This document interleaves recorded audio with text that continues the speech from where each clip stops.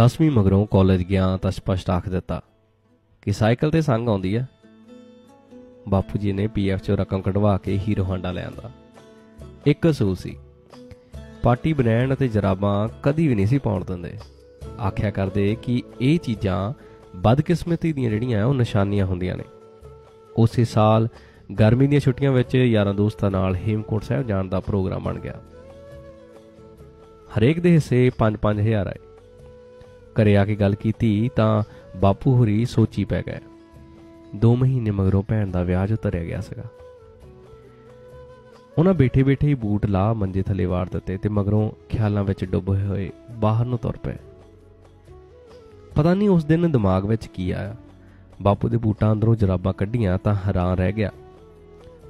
ਉਂਗਲਾਂ ਤੋਂ ਸਾਰੀਆਂ ਪਾਟੀਆਂ ਪਈਆਂ ਸਨ। ਨਾਲ ਲੱਗਦੀ ਅਲਮਾਰੀ ਵਿੱਚ ਪਈਆਂ ਬਨੈਣਾ ਤੇ ਵੀ ਝਾਤ ਮਾਰ ਲਈ। ਥਾਂ ਥਾਂ ਤੇ ਮੋਰੀਆਂ ਸੀ। ਕੱਪੜੇ ਕੱਢਦਿਆਂ ਹੀਠਾਂ ਡਿੱਗ ਪਈ ਪੱਗ ਵੀ ਧਿਆਨ ਨਾਲ ਦੇਖੀ ਤਾਂ ਸਿਉਣ ਥਾਂ ਥਾਂ ਤੋਂ ਉਧੜੀ ਪਈ ਸੀਗੀ।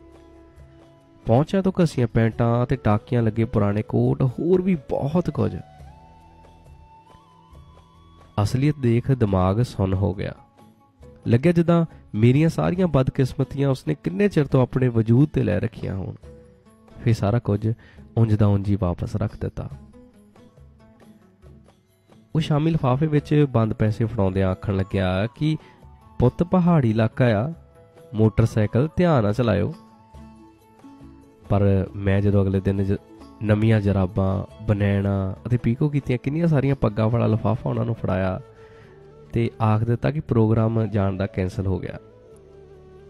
ਉਸ ਸਮੇਂ ਉਹਨਾਂ ਦੇ ਅੱਖਾਂ ਤੋਂ ਡਿੱਗਦੇ ਹੋਏ ਨੇਕਾਂ ਹੰਝੂ ਦੇਖ ਸੱਚ ਜਾਣਿਓ ਇੰਜ ਲੱਗਿਆ ਜਿੱਦਾਂ 100 ਤੀਰਥਾਂ ਦੇ ਦਰਸ਼ਨ ਹੋ ਗਏ ਹੋਣ।